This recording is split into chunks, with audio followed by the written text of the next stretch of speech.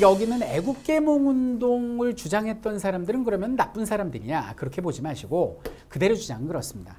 우리가 지금 비록 이런 작은 토끼다.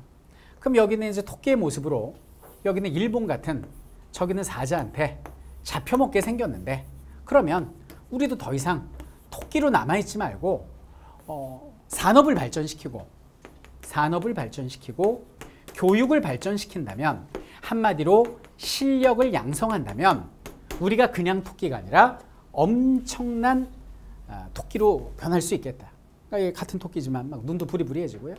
부리부리해지고 음, 이렇게 되고 몸도 어, 근육질로 바뀝니다. 이렇게 근육질 이렇게 바뀌는 거죠. 이게 토끼예요.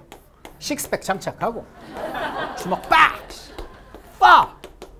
그래서 산업 발전이라는 날카로운 이빨을 장착하고 교육의 발전이라는 이런 강한 발톱을 우리가 장착한다면 울버린처럼 여기는 일본을 한 방에 토하게 할 수 있지 않겠나? 엑스레빗이 되죠.